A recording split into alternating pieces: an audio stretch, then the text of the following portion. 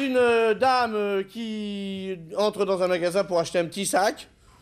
Et un très joli petit sac, euh, tout petit, tout petit, un sac à main de fille, tout petit, il y a écrit 5000 francs. Alors elle entre et puis elle dit, vous ne trouvez pas, c'est un peu exagéré, 5000 francs pour un tout petit sac? Ah, la vendeuse lui dit, oui, mais c'est en peau de bite, quand on le caresse, ça fait une valise.